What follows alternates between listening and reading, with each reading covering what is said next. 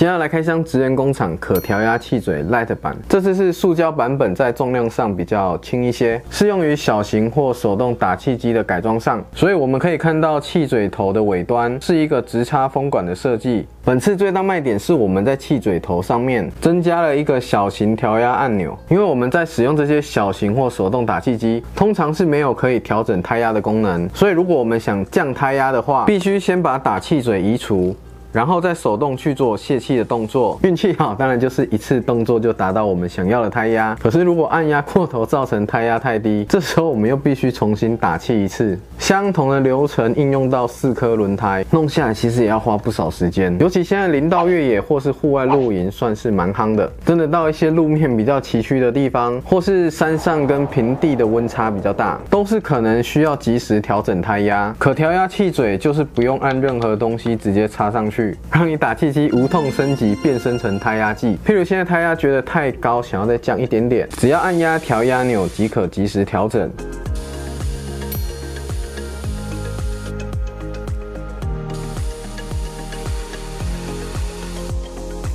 拆除的时候按一下按钮即可瞬间脱离，也不会让你刚刚调整的胎压产生误差。这次有八 mm 跟十 mm 两种风管规格可以使用。不管你是用什么打气机，只要你去量风管是八 mm 或是十 mm 的尺寸就可以。我分别用米其林 ML 一二八八跟威克士的 W 叉零九二，还有脚踏车用的手动打气筒来进行一个改装的示范。改装前不免提一下免责声明，因为这是属于破坏性的改装，所以。改装完的保护归属问题需要自己承担。米其林这台原厂的固定点位置离气嘴头蛮一拜的，如果想让气嘴的位置跟原本的差不多，我们必须非常专注来处理才会漂亮。热缩套退开以后就可以看到按压的位置。我现在要从压接跟气嘴的中间位置切开，然后把压接环拿掉，就可以把原本的气嘴移除。接下来把直人工厂的可调压气嘴安装上去。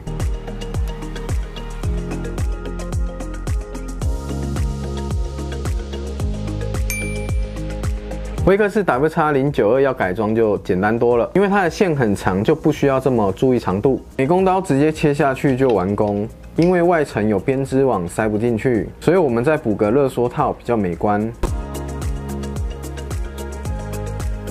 最后手动打气筒就是一样画葫芦改上去。